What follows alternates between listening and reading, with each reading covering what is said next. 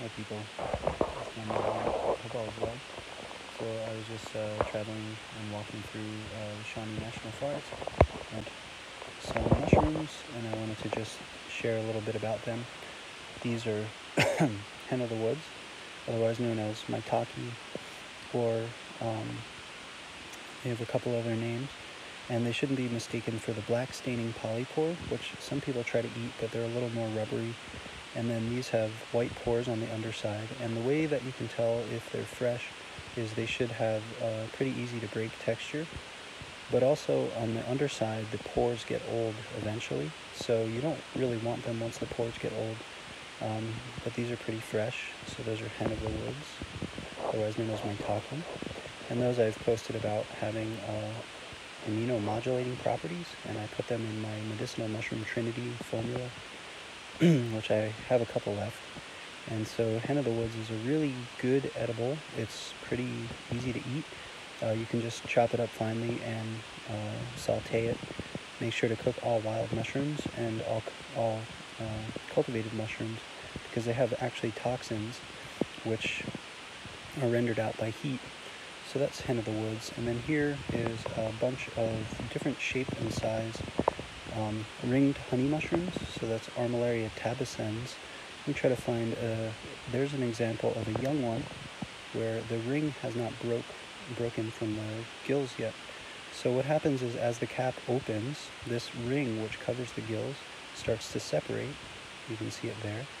And then you can see the gills on the inside. and you get to the point where this is an older one, but still good. And you can see the remnants of the ring or the annulus on the stem. And so these shouldn't be mistaken for a couple. Um, there's Pholiota species, which uh, usually have a little more kind of striation, like this is a young hen, and you can see it's got kind of speckles. Uh, sorry, a young honey mushroom, and it's got kind of speckles. But um, Pholiota has a lot more. So there's ringed and ringless honey mushrooms. I eat them both, and some people complain of digestive upset, but I think that has a lot to do with uh, possibly mistaking them and trying to eat them uh, as pholiota or jack-o'-lanterns. And jack-o'-lantern mushrooms are much more orange, and then also the gills are orange, so you don't want to mistake them for jacks. So then the other issue of concern might be that people aren't cooking these well enough and eating them somewhat raw. So I recommend chop them finely, saute them hard. Um, I'll usually cook them in some butter, and then when they're kind of getting browned, I'll pour some water and then boil them for about 10 minutes and uh, reduce that liquid back down into the mushrooms. Mushrooms are generally really thirsty and uh, require a lot of oil, and so I like to use some water too. If I can grab my knife out. So when I was picking these, some of these are kind of old and big, like this one. Uh, but what I'll do is if you slice in the a cross section like that, you can actually see that there's no bug bites, uh, bug markings. So sometimes on mushrooms you'll get kind of the bugs eat them. And so these are really fresh even though they're kind of older.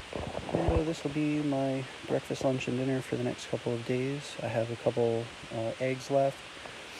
I'll probably do some mushrooms and eggs tomorrow morning. And there's a little look at honey mushrooms, which are out and about. So uh, hope y'all have fun. Go out in the woods, look for mushrooms, and be safe. Peace, friends.